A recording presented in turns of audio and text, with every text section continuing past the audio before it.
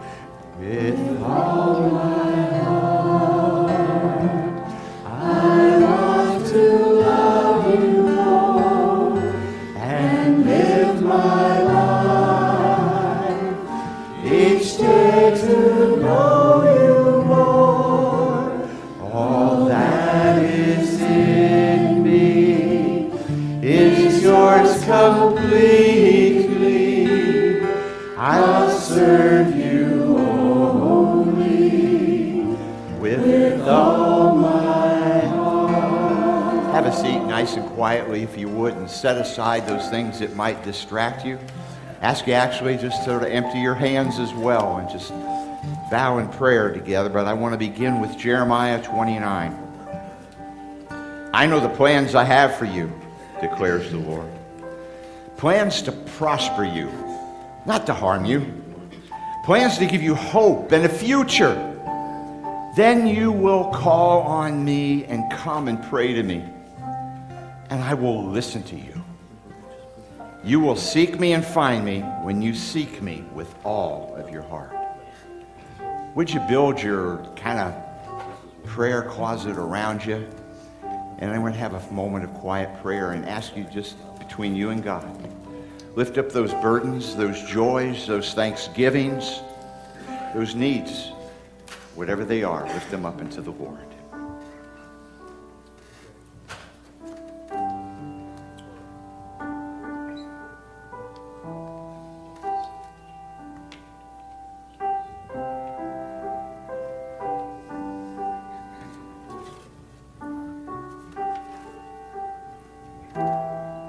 Father God, how can we say thank you? You got plans for me. You have plans for each of, the, each of us in this room. You have plans for your church, great and mighty plans. God, I just pray that with, with your wisdom, you would lead, you would guide, you would show us, you would direct us. Lord Jesus, with my heart, I pray, touch us today with your spirit, that we might know your presence. And God, we love you. We declare to you our love. And thank you, Father, for the eternal hope of Jesus and the sacrifice you gave through him. And Father, for the blessings that you have showered upon us, blessings outside right now in the rain that refreshes the grounds, that restores your earth, that gives us hope, blessings within us where you shower us with your blessings of friendship, of, of what we need, Lord, how you provide for us in so many ways. Thank you. Thank you, Father, for the opportunity to gather here. And as your word is opened in just a little while, and it is preached with strength, help us to hear your message. Help your message to speak to our hearts. And Heavenly Father, I pray this in the precious and holy name of Jesus. Amen.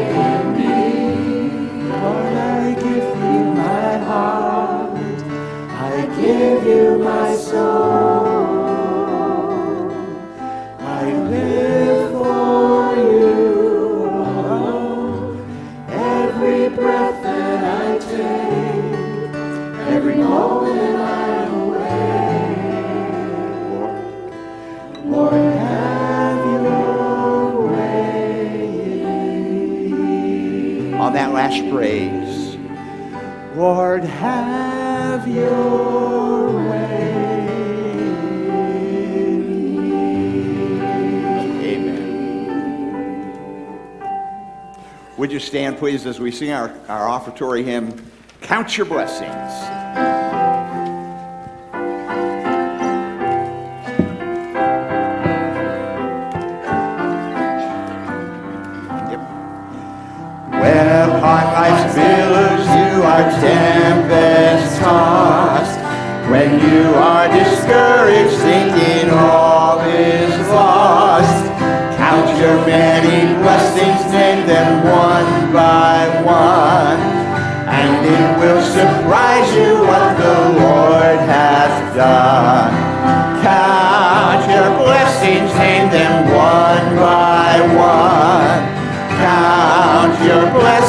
See what God has done.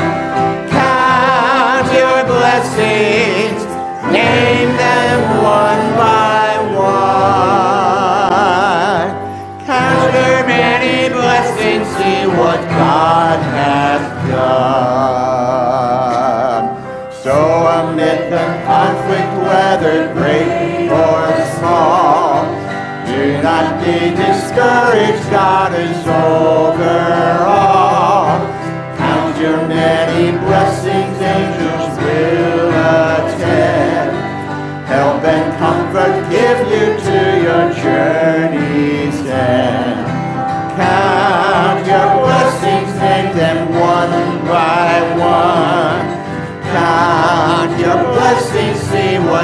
God has done. Count your blessings, name them one by one. Count your many blessings, see what God hath done. Amen, amen. Welcome, church family. For those that haven't met yet, my name is Kevin. I'm one of, your, one of God's servants here at Myrtle Grove. Would you all bow and pray with me, please? Our gracious and loving Heavenly Father, we do come to you now, Father, to Father, we've, we've started out in praising in our voice, Father, in song. Father, you'll hear your, us as, uh, as we give your word back to you, Father. Father, now we're going to just take a moment and bless you also with our tithes and offerings. Father, we know we wouldn't have anything without you. And Father, we know we can't outgive you. But Father, we want to give you back something that you've given to us. And Father, we ask that you bless it and that you use it, Father, to uh, further your word here in this, in this world.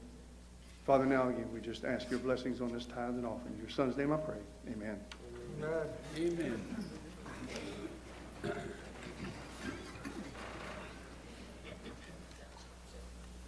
Amen.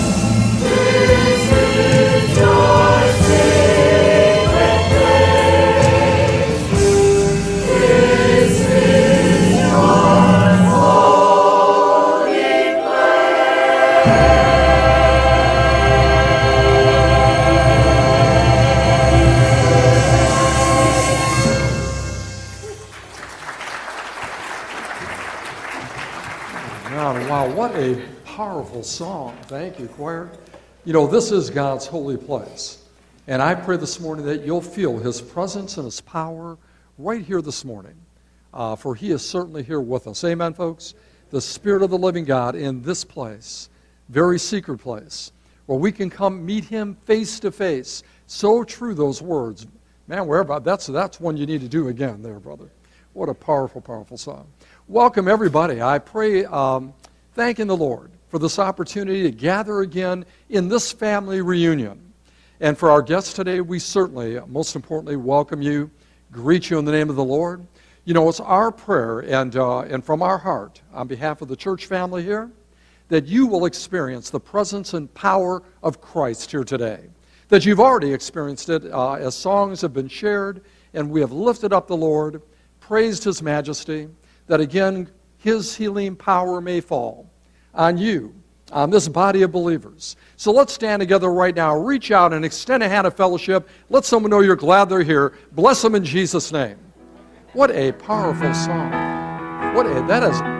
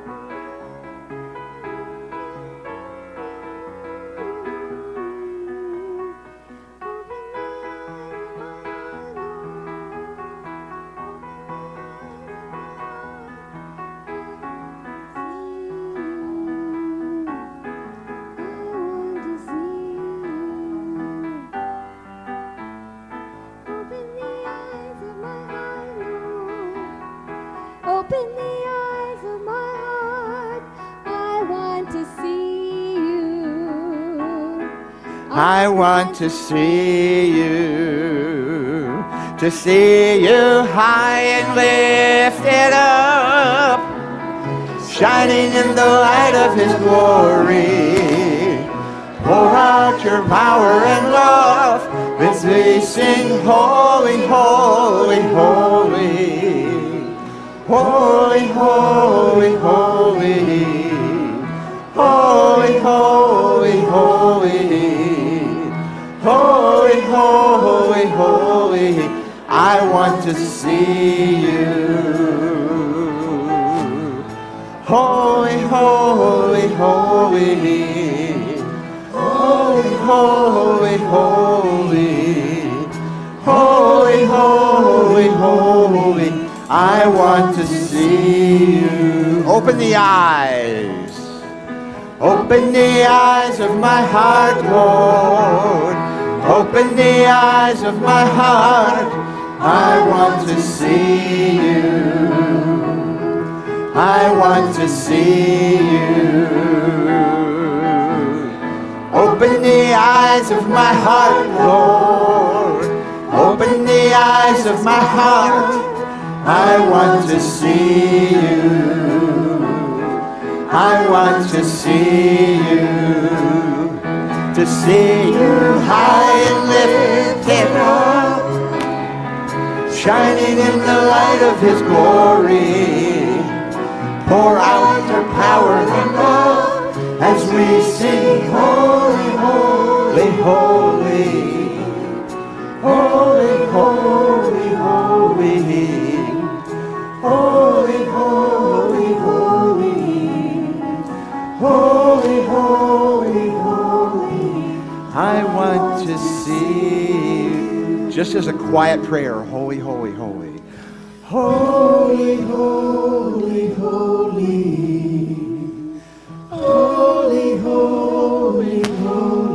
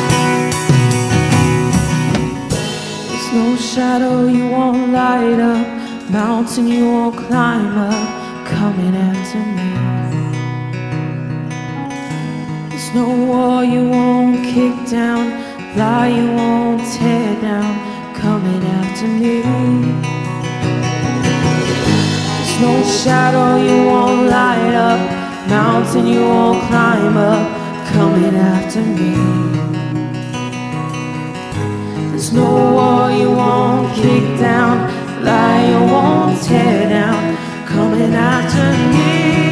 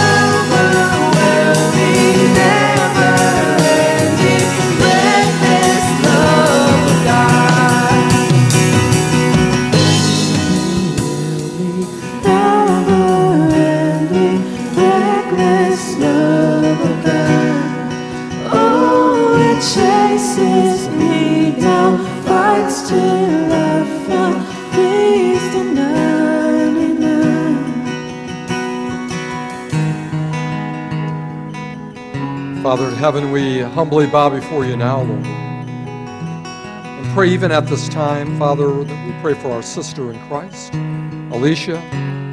Lord, that you will help her, strengthen her, even at this very moment. Lord, and her family. As you have, Father, uh, through the years, let your presence be felt and bring her well here.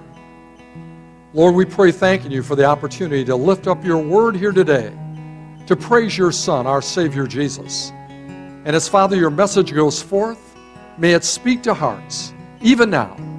Father, capture us, capture our attention, our thoughts, that we, Father, as a result, can come away stronger, more committed, more willing, Father, to accomplish and do your will. In Jesus' name. God's people said, Amen. Amen. God bless you. You may be seated, folks. I want to play a little word association with you right now, okay? Uh, you know what that means, right? I say a word and you say the first thing that comes to your mind. Are you ready? Everybody's got to participate here. Here's the word stewardship. See, most of you thought money and offering envelopes, didn't you? Oh, yeah. Some of you thought, oh no, another sermon on money. Did you know, folks, did you realize that uh, one of the most quoted Bible verses on stewardship has nothing at all to do with money? In fact, listen to this 1 Corinthians 4, verse 2. The Bible says, quoting from a King James Version here, Moreover, it is required for stewards, uh, for stewards that a man be found faithful.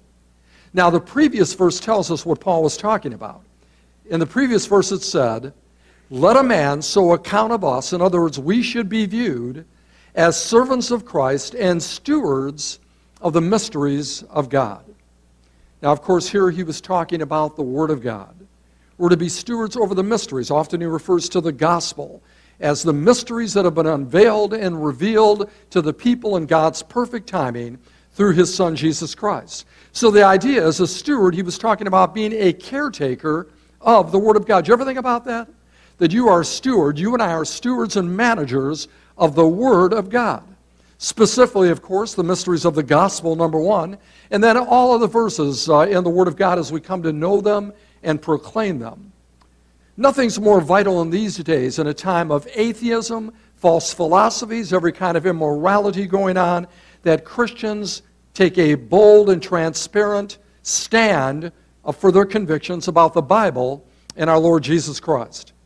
Paul taught that the Christian's possession of God's truth is first the gospel, and most importantly, the essence of the essentials of our faith, which is the gospel of our Lord. That Jesus died for our sins, according to the Scriptures. On the third day, he was raised again, according to the Scriptures, ascended at heaven, sitteth at the right hand of the Father, coming again to judge the living and the dead. That is the great mystery that was unfolded 2,000 years ago, which we cherish, the very foundation of our faith. Give him praise and glory today, amen. Now, we're certainly to be bold, you know, in our conviction and bold in taking a stand for the Lord. But unfortunately, so many, and you folks know this, okay? You know it's true. So many Christians and even denominations have allowed themselves to be intimidated. Intimidated, of course, by uh, forces of political correctness, through ridicule, uh, all kinds of intolerance. And instead of being bold, many Christians have allowed themselves to be forced into silence unfortunately.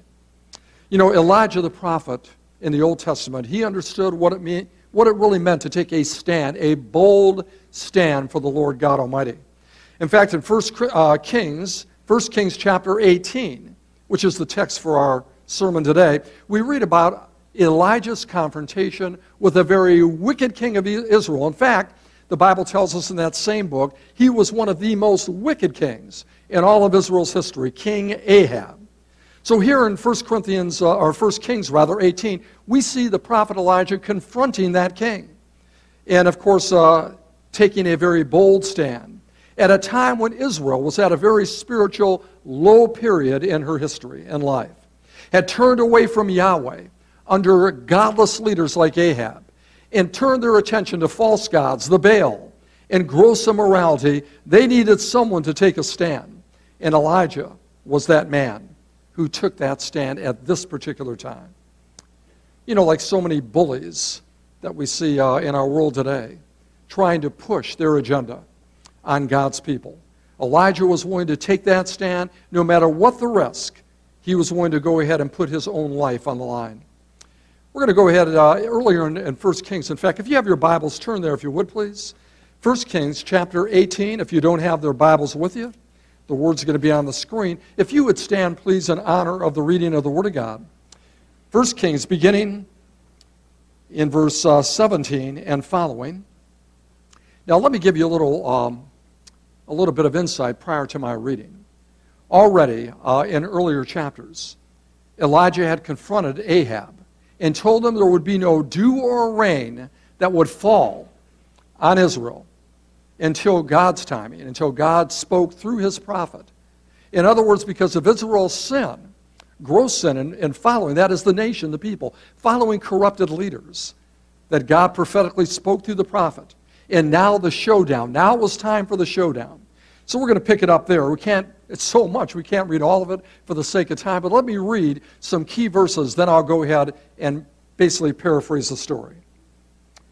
Verse 17, the Bible says, When Ahab saw Elijah, Ahab, King Ahab, said to him, Is that you, you destroyer of Israel? He replied, I have not destroyed Israel, but you and your father's house have, because you have abandoned the Lord's commands and followed the Baals. Now summon all Israel to meet me at Mount Carmel, along with 450 prophets of Baal and 400 prophets of Asherah, who eat at Jezebel's table. Now, Jezebel was Ahab's wicked wife, who was probably chiefly responsible for intimidating her husband and turning his heart, along with the nation, away from the Lord. Verse 20. So Ahab summoned all the Israelites and gathered the prophets at Mount Carmel. Then Elijah approached all the people and said, How long will you hesitate between two opinions? If Yahweh is God, follow him. But if Baal, follow him. But the people didn't answer, not one word. Let's pray. Father, just speak to our hearts now, O God Almighty. And let your word, Father, challenge us at this very important time in our own history here in America. In Jesus' name, amen. You may be seated. So here's Elijah now proposing a contest. He goes on, uh, following the verses I just read, and proposed a contest between all the prophets of Baal, the false prophets that have led, and along with King Ahab, who led Israel astray, against the one true God of Israel, historically Yahweh. And of course, uh, in challenging them, we, if we apply the scripture, the message is real clear. And that is, as God's people today, we need to stand, like Elijah, unapologetically, taking a stand for our Lord against a culture and poor leadership that have led this country into the shape that we're, it's in right now, not let alone the problems of the world, friend. Just thinking about our own nation that was once a leader sending missionaries out to around the world, now one of the most corrupt, immoral uh, nations on the planet. I want us to think a few minutes right now about the uh, title of this message, okay? Defending the Honor of the Lord. Now, certainly God needs no defending, but we can rephrase it another way. How do we, we honor God when we defend the faith? Now, think about that. We honor the Lord when we defend the faith. And there are three things I want to I want to point out here this morning in ways that we can honor God and defend the faith. The first one is this. We need to see it as Christians' duty, our duty, to engage our culture by connecting sin to its wages. If you would look at uh, chapter 18, verses uh, 17 and 18. It says, When Ahab saw Elijah, he said, It's you, the destroyer of Israel. In other words, he was telling uh, the prophet, It's all this spiritual stuff, and and uh, the ways of God, the way we used to worship, that's the, uh, the, what's caused all the problems. You bringing down a curse on us, you know, the drought, you got to understand now. For almost three years, no, it hadn't rained, and there, Israel was in some real dire straits.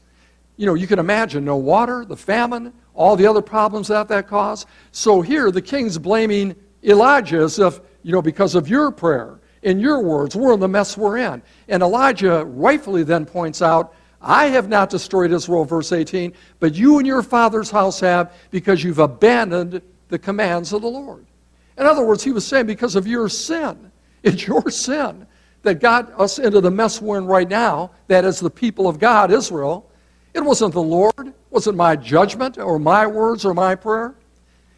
You know, in the same way, folks, today, we need to understand that the unbelievable terrorism that's rampant around the country, the thirst for power that we see politically going on right now, you know, one group trying to trump over the other group, and the gross immorality, pornography, homosexuality, all the stuff that's happening. Often we point to that as the problem, you know? And of course, depend, depending on what side you're on politically, if you're on the left or the right, you know, you're accusing those nasty Republicans. Oh no, it's those Democrats, socialists. It's their problem. Or it's this, this issue, you know, is the problem right now. Or this issue or that issue over here.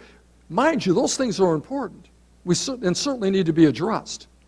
But it's not the main root of the problem that America's in the mess it's in right now.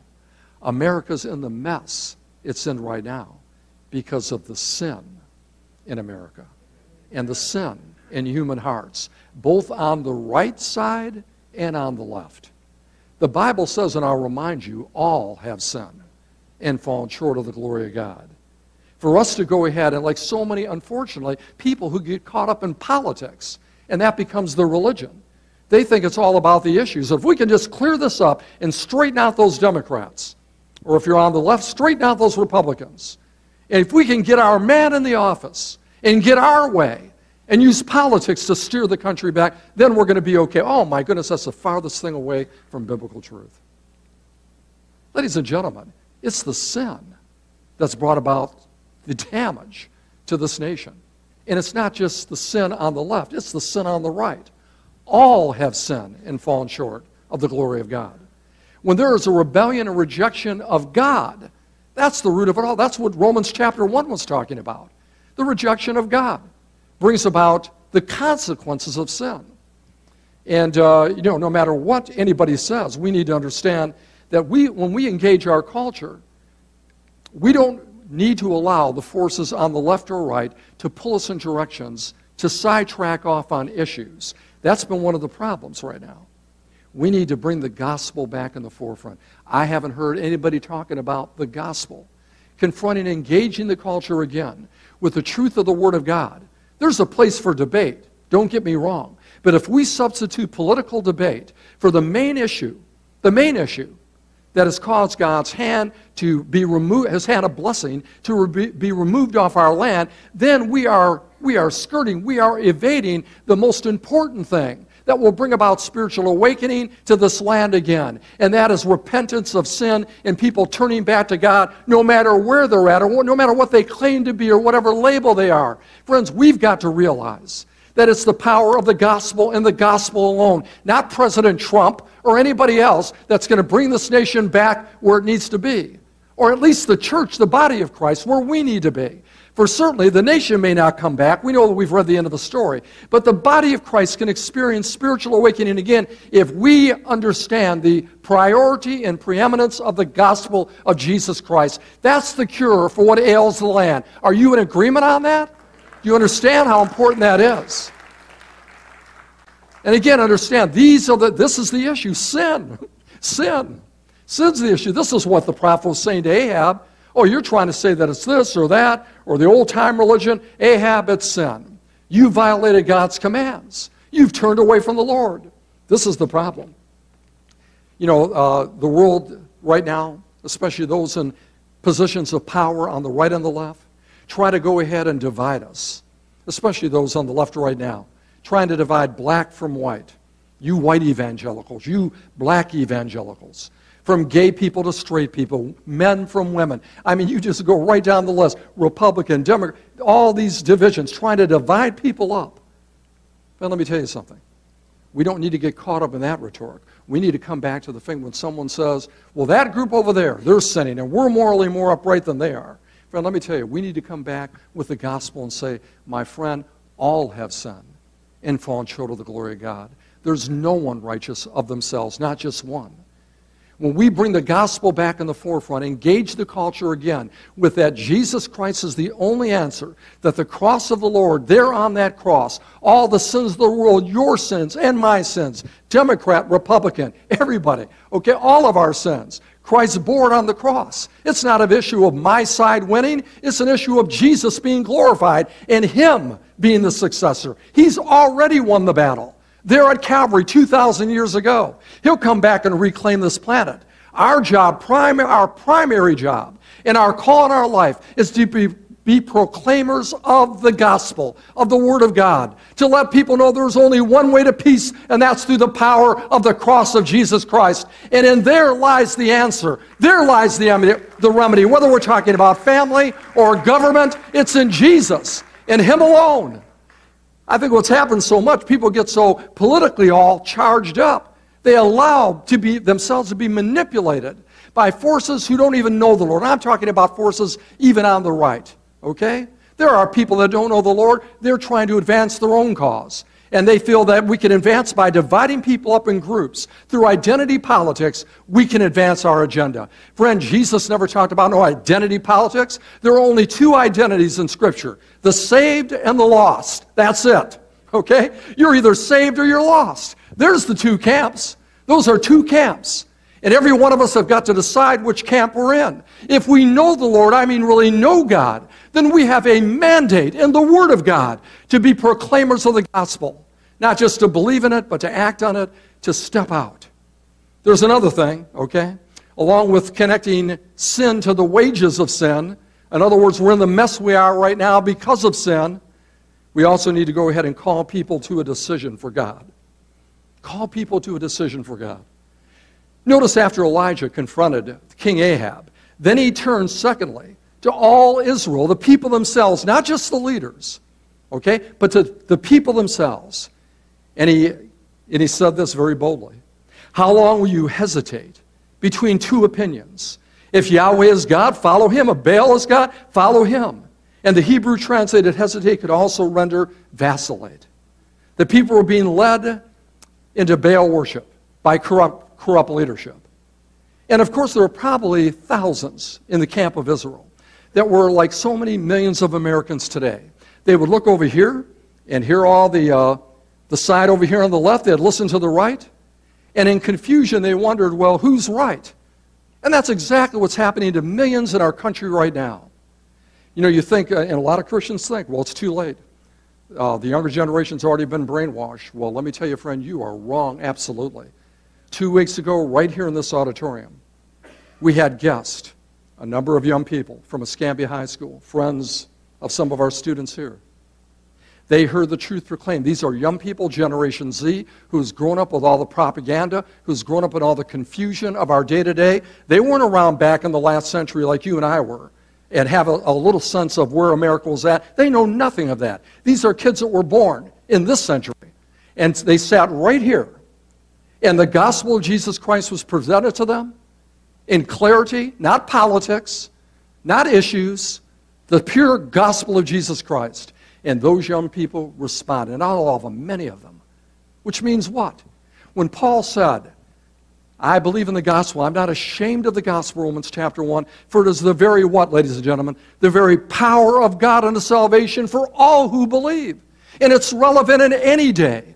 You think America and our culture, our our pagan culture right now, that we're the first ones to undergo this kind of thing? Just think about communist China. Believers, the underground church in communist China, even under escalated persecution right now as I speak.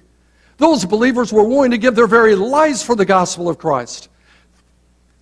Communist China tried to squelch the gospel in the last century. All they did by trying to, by trying to come down hard on the uh, Christians were to go ahead and cause the church to rise up with millions being converted. I think of Ying Kai's testimony, the little Chinese IMB missionary that went to a place where there was no Christians at all, zero, nada, had to secretly go in. And he began to evangelize and disciple. You know the story. Ying was here uh, several years ago. 1.7 million people are Christians now because of a little humble Chinese guy and his wife. People will respond to the gospel of Christ no matter what ism, no matter what falsehoods, no matter what gross immorality may have captivated the land. Because the gospel is power, all God needs is one faithful man or woman who is be willing, like Elijah, to stand up and be bold. And, and have the attitude that no matter what comes, no matter hell or high water, I'm going to live for the Lord. I'm going to serve Him. Be true to my God. Can I get a witness out there? Amen? It's going to require just that, folks. It will require nothing less than that. Little cultural Christianity, punching cookies, is not going to cut it. In our day to day, it's going to take a bold stand and a bold uh, witness of our Lord. You know, calling people to repentance, calling them to a decision. I think that America in the last half of the last century grew weak. We relied too much, and I'm going to come back and hit it again. We relied, as evangelicals, too much on politics. You remember Jerry Falwell, the whole moral majority thing, okay? We relied thinking somehow that politics, that Ronald Reagan, you know, was going to save the day. That was going to sweep our country. Nothing to matter with right politics. And certainly we need to vote our conscience biblically. I've always said that. But don't you think for a minute that politics or Donald Trump or any, anybody else is going to save America. My friend, you are, you are greatly mistaken. What's going to save this country is Christians getting on their knees. If my people, my people, call by my name, come on now, will humble themselves and seek my face and turn from their wicked ways, then I will hear from heaven. Forgive their sins. Did you hear that part? Forgive their sins. When you say you have not sinned, what did 1 John say? If you say you have not sinned, you're a liar and the truth is not in you. Forgive their sins and then do what? Heal the land. That was an injunction for God's people, not lost people. We can't rely on politics to do the job that we've been called to do. In the, last ha- in the latter part of the last century, what ended up happening? Christians were so involved in singing their praises, going to gospel concerts, kicking back, enjoying the prosperity of America, being seduced by that prosperity, that we failed to witness to the lost. We were more content for TV evangelists, who, by the way, many of them ended up being corrupt morally, okay, and doing more harm to the church than anything else. And our individual witnessing, our individual confronting, going to people, telling the stories to our children. Many of those lost a generation because of a failure for personal responsibility of being stewards of the Word of God. And let me tell you another thing. Don't, you th- don't think for a minute that our giving to the Lord financially is not connected to the gospel. In fact, if you're giving for any other reason, besides the fact that you believe that through this church, when I write my check to support this ministry, I'm supporting the gospel of Jesus Christ. For it's here that this body, this fellowship, has committed to bring the good news of the gospel of Jesus Christ to a culture, to a people, to a community that needs to hear. When we connect, follow me now, listen carefully. When we connect, when we're writing out a check to give to this church, okay? Don't just associate things like, well, I'm writing to pay the bills, pay the staff, blah, blah, blah. That may be true, friend. But if that's the reason, that's your motivation, you're on a wrong, you're on a whole wrong platform right there. The reason is we are connecting what we're doing here to the gospel of Jesus Christ, to furthering the gospel. When we have that connection and we pray, that motivates us to give generously. What did Paul say in uh, 2 Corinthians chapter 9? Sow generously, you shall reap generously. For every man, if I may, every woman, must decide in their heart what you're going to give. The tithe in the Old Testament, that's just a starter. That was a standard. That is a good one to use. But you're decide you're not going to limit yourself by that. In fact, Paul in, in our Lord talked about, you know, generous giving, like we talked about a few weeks ago, abundant giving. And whatever you decide to do in your heart, you sow generously, you will reap generously, and God will make sure that in your barn you'll always have ample, your needs supplied, your needs, not all your wants, that your needs will be supplied, that you continue to be generous. That's a good way to go ahead and practice trusting on God. And that's my third point. It's going to take great faith to go ahead and take a bold stand for the Lord. Because when we take a bold stand for the Word of God, whether it be our stewardship of our money, the stewardship of our life, the stewardship of presenting the gospel, you know, to a lost world, whatever it might be, when we go ahead and step out and act on that faith, you, we have got to trust that God will honor those who honor him. That God will do exactly what he said he would do in the Word of God. And that's what Elijah did. Remember now in the story. He went ahead and challenged the prophets of Baal to a contest and had to do it a sacrifice, an animal sacrifice. You guys take a bill, a bull rather, build a fire, place them on that fire on top of wood. I'll do the same over here, and then uh, we're not going to light it. Then we're going to call down from our gods in heaven to go ahead and light that sacrifice, to send down fire from the sky and light the sacrifice. And, and then Elijah told the uh, false prophets, You guys go ahead first. There's 450 of you. Go ahead and call on your God and let him send fire down. If you believe he's so mighty, let him send fire and burn up that sacrifice. Well, they tried. They yelled, they cut themselves, did all kinds of wild stuff trying to get the attention of this false god Baal. When they were all done doing their thing, Elijah prayed a bold prayer. Go in chapter 18, read that prayer. He called upon the God of Abraham, Isaac, and Jacob, or Israel, to go ahead and show himself strong and send down fire and burn up the offering. Now, Elijah put himself on the line, friend. Think about this. Because if God didn't come through at that moment, what do you think is going to happen to Elijah? Boy, those false prophets would have turned on him in a second, made some excuse for their God, and probably killed Elijah. He put himself on the line doing what? The very thing I'm saying God's saying to us through this message to trust the Lord, that whatever God said in His Word is true.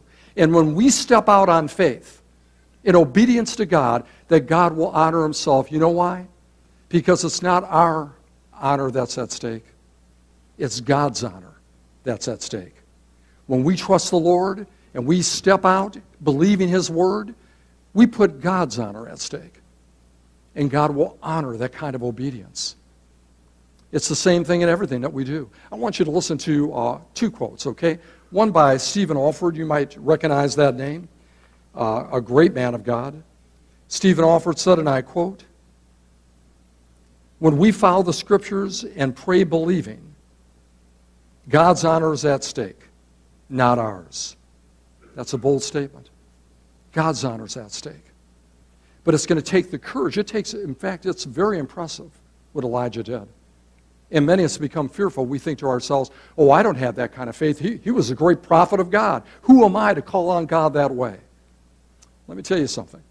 In the book of James, listen to what James said in chapter 5, verse 16, and then verse 17 and 18.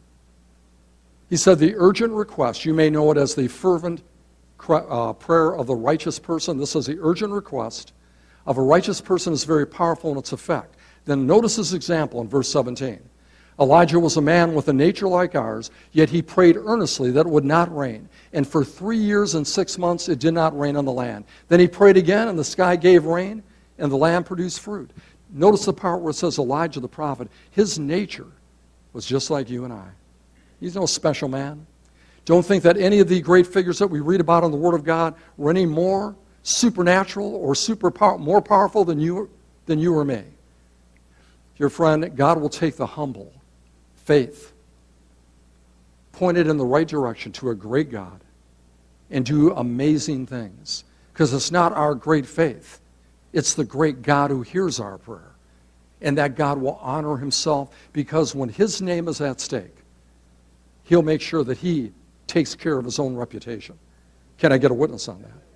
We're talking about the God, the God of our faith, the God who so loved the world that he gave his only Son, that whoever believes in him shall not perish, but have eternal life. We're talking about that God. This is something I came across here this week, a very powerful word from Dr. Gene Getz. Listen to this quote. He says, we are stewards of the mystery of God. Again, the gospel, the Word of God. When they become obscured by the leaders of our day, like they are right now in America, then those in their attempt to rid us of our faith, and there are many who want to shut Christianity down, we need to openly confront them with God's truths. We need to call for the people to choose Christ and call on Christians to renew their loyalty. And bathing all of our transparent witness and prayer, we need to throw ourselves upon the faithfulness of God and depend on Him for His response, turning people away from sin and to our Savior Jesus Christ. When we do, he says, Fire will fall from heaven. Fire will fall from heaven.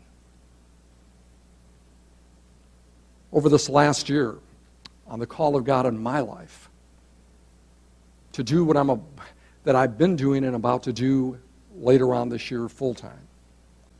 And that's to gather Christians together, true Christians, true believers, born again, of every Christian denomination that really believe the gospel. I mean, believe in the eternal Son of God who came into the world to die for the sins of the world, for he so loved the world that he was bodily resurrected, ascended in heaven, coming back again. The only way to the Father. There is no other way. And the only way that we can truly be reconciled, man to man, woman to woman, across all barriers, all racial, cultural lines. This is the call of God that I heard in my mind. And what's going to happen here two weeks from today when Christians gather to march right down the street right here. I pray a thousand of them. And gather again at Escambia High School to lift up the gospel of Christ, that we will make a statement that will have a repercussion and a rippling effect, not only here. Of course, we're looking to downtown Pensacola next year in 2020, but not only here, but from out, from, from out of this city, affecting other cities and counties across the land. I believe God is calling his children to come together because we're stronger together. We disagree on a host of other issues with other Christians, different denominations, that's true. But you have to believe the gospel to become a believer. Billy Graham knew that. And Dr. Billy Graham, for over five decades at his crusades, drew people from all different Christian denominations, races, and cultures because he stayed on one lane and one lane only the stewardship of the gospel of Jesus Christ. And with that, there was power. Power. When invitation was given. Just like there was a week or so, uh, two weeks ago, when our evangelist Steve Hale stood up here and proclaimed the gospel clearly, and young people came, and adults, and some parents gave their hearts to the Lord. Because the gospel is powerful, folks. That's the one thing, the one thing that makes the difference in our life. I'm praying that some of our our younger students here, men and women. That I don't know what your future holds, God does, but I pray that some of you guys rise up and be, for, for all of you, certainly, but that especially for those of you that would be called to serve God, to become preachers, missionaries, not be ashamed of the gospel, serve God faithfully, unapologetically, boldly stand for truth. That's what we've got to model in these days. I believe that with my whole heart. I'm trusting my Heavenly Father for the future of our nation, for the future of my family, my children, my grandchildren. How about you? How many of you out there got grandkids? Raise your hand. Oh boy, yeah, we're thinking, man, the next what? What's going to happen in the next 20 years? You know what? Instead of worrying about all that stuff, God's calling us to live, to seize the moment, seize the day, live for Christ. If our kids are safe at home and our grandkids, if they're safe at home with Jesus, friend, they're going to be okay.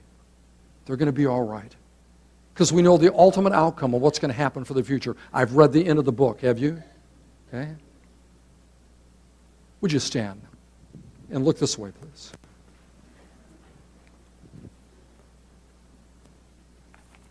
Let me say something to you.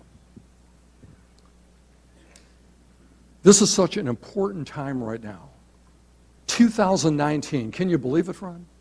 Those of you that were up in your uh, 60s, 70s, older, time goes by so quick. And I, I've said it before, and I'll say it again from this pulpit. Dear friend, we are not here that long. Life is like a vapor. What are you doing with your life? What are you doing with your life? the greatest investment from any perspective relationally, financially, whatever. Whatever legacy you're wanting to leave, the greatest thing that we can do is live for the glory of God. Honor God, friend. Honor Him. Share the one thing that can bring people transformation, real change. Share the gospel, the good news of Christ. Tell the stories to your children, to your grandchildren. Leave a legacy and a life that your kids will be talking about. Your, that's what I want to do for my grandkids. I was thinking in my mind, I want my grandkids to talk about their grandpa's life. You know, what he lived for or died for. Heavenly Father, I pray. Lord, this is your invitation. God, I pray, speak to hearts. Draw people to Jesus today. And those of us who know you and love you, God, may we be challenged to raise the bar. Raise the bar. To make whatever adjustments in our life need to be made that we can follow you more dearly, more nearly. Friend, if you've never trusted Christ for the forgiveness of your sins, for the salvation of your very life, you can do it where you stand right now. Just say, Jesus, come into my life, come into my life. Dear God, I open up the door to my heart. I believe you died on the cross for my sins to save me. Today I give you my life. I don't understand everything, but I'm ready to follow you. Just a prayer like that from your own heart, friend. Pray like that from your own heart. If you are a believer, ask the Lord to help you to make the adjustments, the correction that you need to make in your life. That you could be more obedient and be a better steward of the Word of God, not only of your money, for sure your money, but your life and the stewardship of the message of the gospel, the Word of God. Maybe you're looking for a church home. God's led you to Myrtle Grove where the Word of God is preached, and you feel drawn to be a member here, to join your life with the members of the Myrtle Grove Baptist Church, to become a part of this family. Open your eyes, look this way. I'm here. This is God's invitation. If you need to come today, for whatever reason, you might just take hold of my hand, or some of my brothers, our student minister will be here, my associate pastor. Say, you know what? Pastor, I'm ready to follow the Lord. I'm ready to give Jesus control of my life. I'm ready to become a member of this church. Whatever the need, we'll be here. Come during this invitation. You come now. Make that decision for God, friend. Don't wait. Don't wait. Turn your eyes upon Jesus. Look full in his wonderful the things of earth will grow strangely dim. In the light of his glory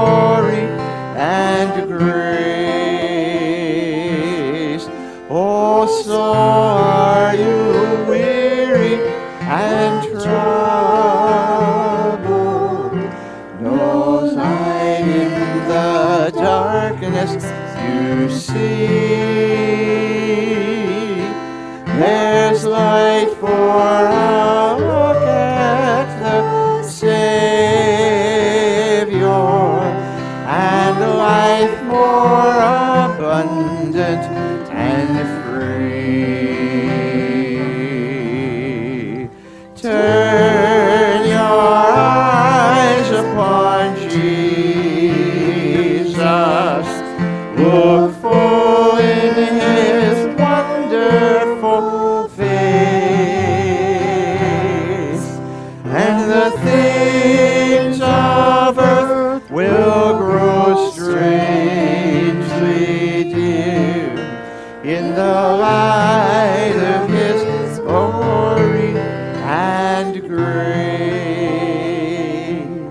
Oh, Jesus, we thank you for your word.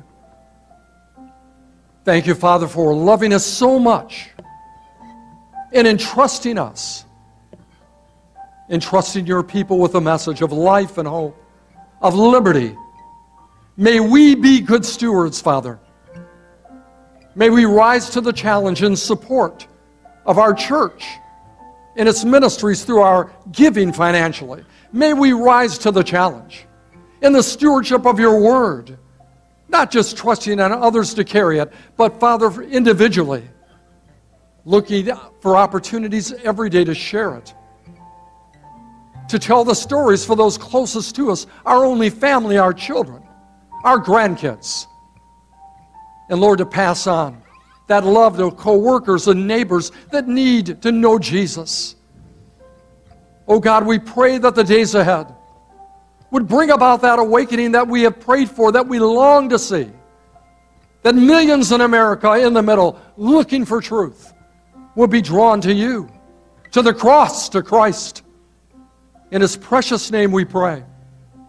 All God's people said, Would you put your hands together? Give God praise.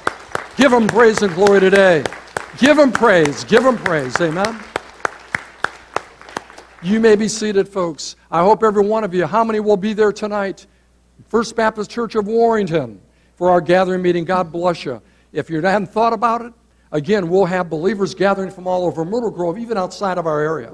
Pastors, organizations that will be joining together as a pep rally tonight at First Baptist Church of Warrington in preparation in two weeks for the Unity March and Rally. I pray every one of you put those important times on your calendar.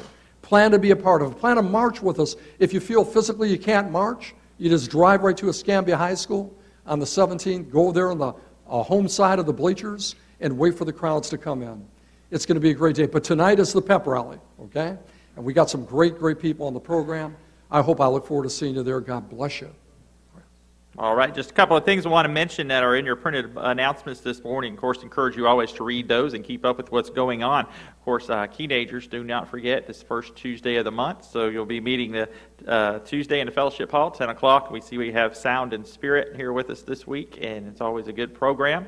So, again, just uh, encourage you guys to be here for that. Also, you see as well, our disaster relief team and our missions committee are having a, a work day and a pancake breakfast next Saturday on the 9th, and that's uh, starting at 8 o'clock. We'll be in Fellowship Hall, so you can uh, bring a donation for that, and there's some items there listed in your bulletin as well as as we try to, to get the house ready.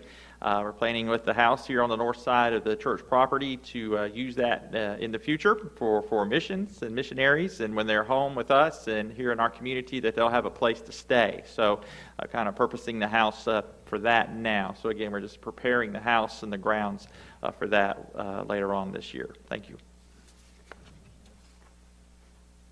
I heard pancakes.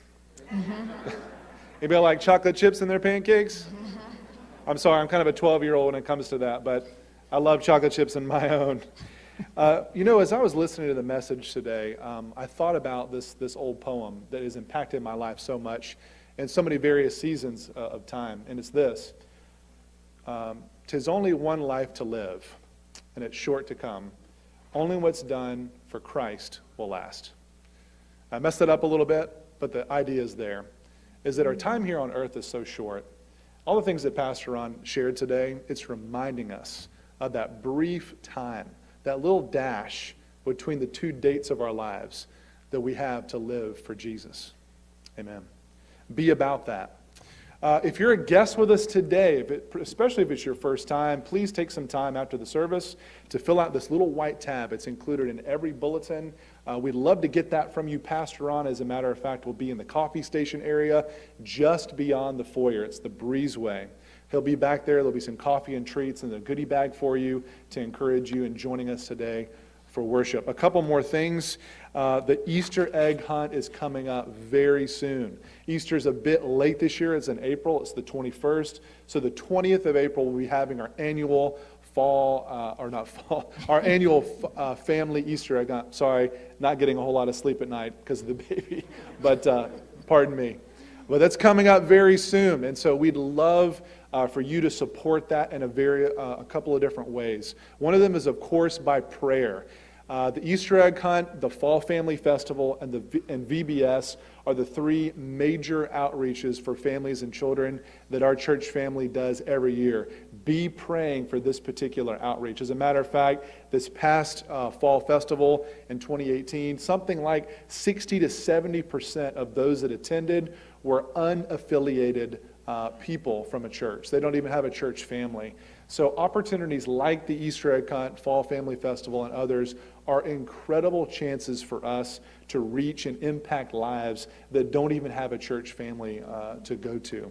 So, be praying for that. Also, consider volunteering for this event. We need lots of volunteers to make this happen from hiding eggs to policing those eggs to bounce houses, uh, potato, yeah, policing the eggs, make sure nobody's getting them. you, hey, you got to police them. Uh, there's all kinds of ways to serve at the, uh, the Easter egg hunt. Uh, and also, please be giving plastic eggs and non chocolate candies individually wrapped to uh, one of the boxes. One of them's at the front office, the other box will be in the FLC. If you already got chocolate candies, it's okay. We'll use them anyway. Uh, but please, if you could, focus on non chocolate candies. They tend to melt when they're outside in the grass in those uh, Easter eggs. Also, D Now coming up. Please look at your bulletin to look at what that's all about. Be praying for that event. It's for the youth, it's an all out weekend of discipleship and worship and service. Pray with me. Father, thank you so very much for this morning that you gave to us to worship you, God, to come before you and pray, to fellowship together, to listen to your word shared, to challenge us, oh God, to live for you, to defend your honor in the ways that Pastor Ron described today. Help us all, Lord, to be bold witnesses for the gospel. God, it really is a very short life.